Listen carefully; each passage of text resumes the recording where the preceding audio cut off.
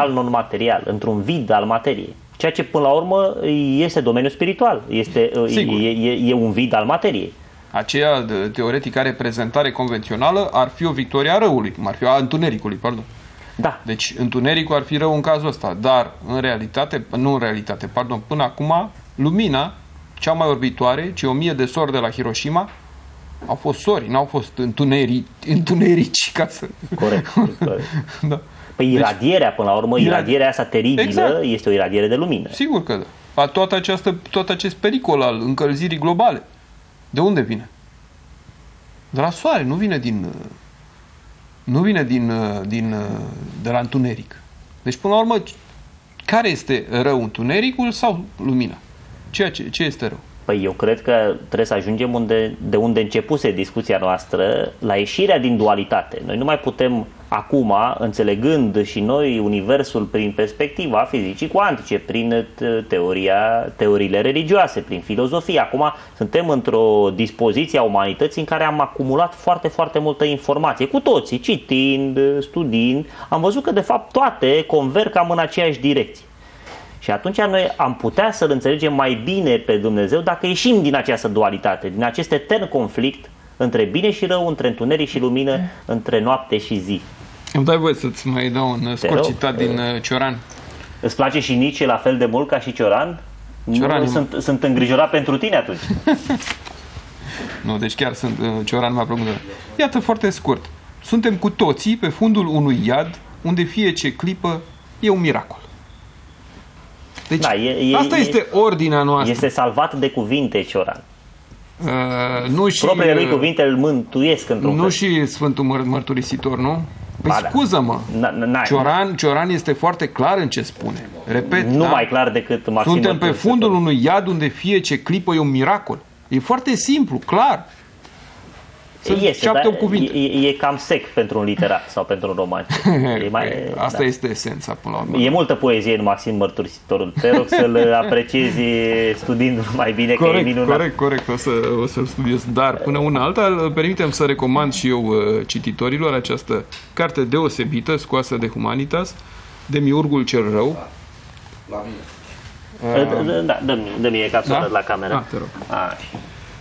Deci de Miurgul cel Rău, al lui Cioran, foarte scurtă, plină de înțelepciune și uh, eseuri. Da. Și are și un preț absolut acceptabil. Da.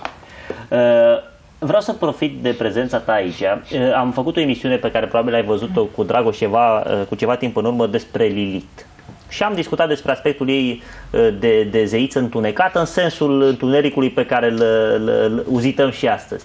Din punct de vedere astrologic, Uh, ea este percepută mai degrabă malefic sau mai degrabă tenebros?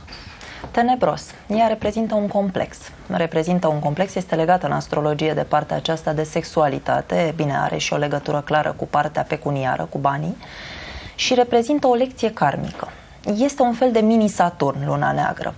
Este locul unde avem anumite frustrări și anumite angoase, locul unde nu am înțeles altădată exact cum ar trebui să acționăm și în viața asta trebuie să ne autodepășim.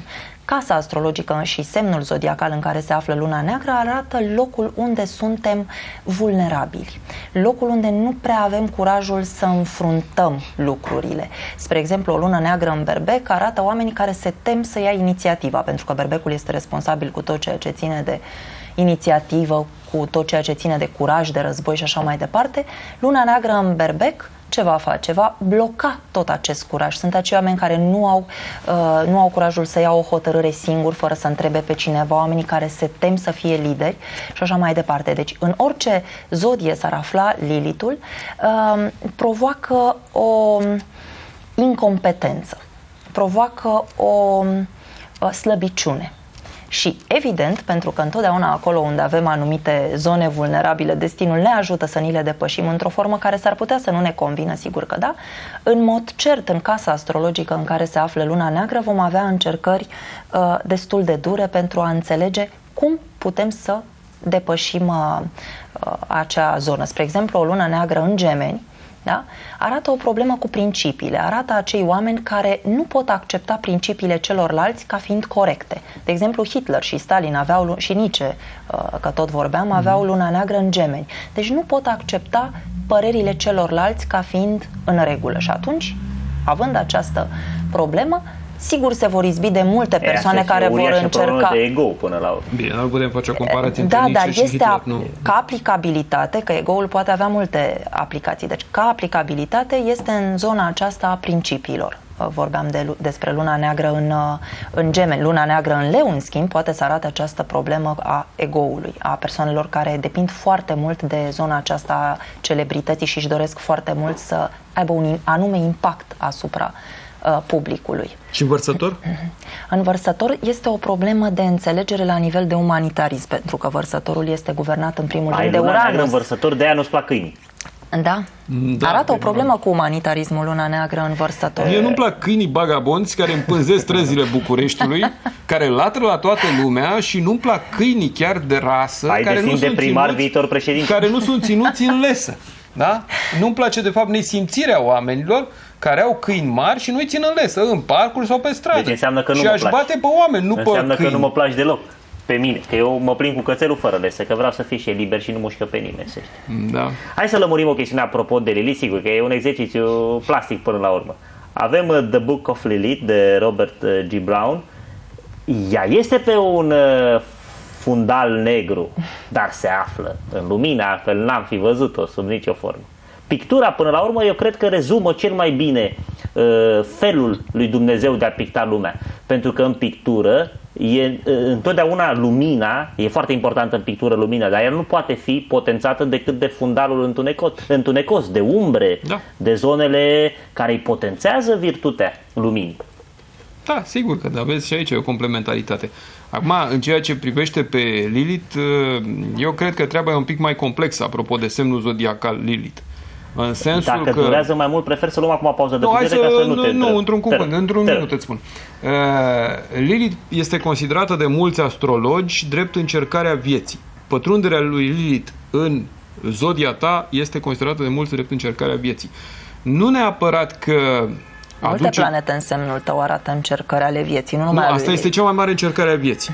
Pentru că Lilith nu aduce neapărat este- un nefast, ci te pune, uh, te, te aduce la granița, la granița posibilităților tale, la limita ta. De exemplu, la mine, ca și vărsător, eu am o înclinație către, să zicem, către ceva extrem, către în politică, să zicem, către un naționalism, în uh, altă parte către o visare dusă la extrem și așa mai departe. E bine, Lilith te duce la acel extrem unde poți unde uh, uh, coarda uh, inteligenței tale sau posibilităților tale, intelectuale sau de oricare altă natură, poate plezni.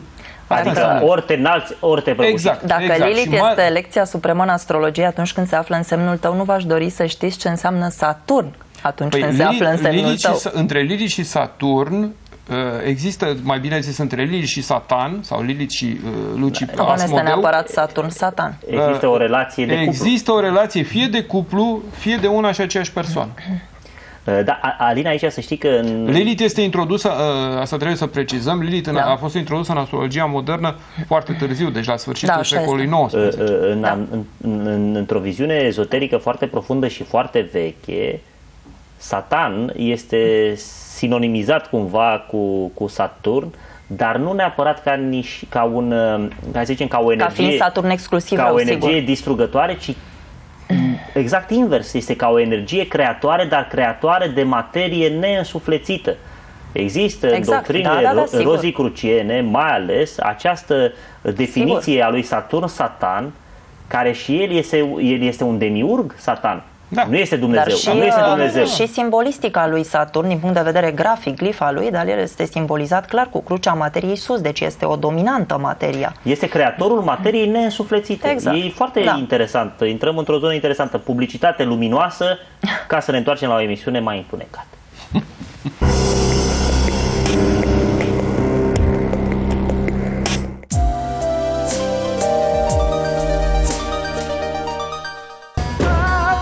Grupul Paracelsus vă invită în călătoria găsirii sinelui, a păcii, luminii și a iubirii, tehnici și principii de meditație, numerologie, astrologie, alchimie spirituală, protecție infoenergetică, reiki, calea luminii, sistem teurgic esenian, masaj de relaxare, energetic și de purificare. Inițiere în Cabala, curs de hrană vie, grupul Paracelsus, Nihil Sinedeu.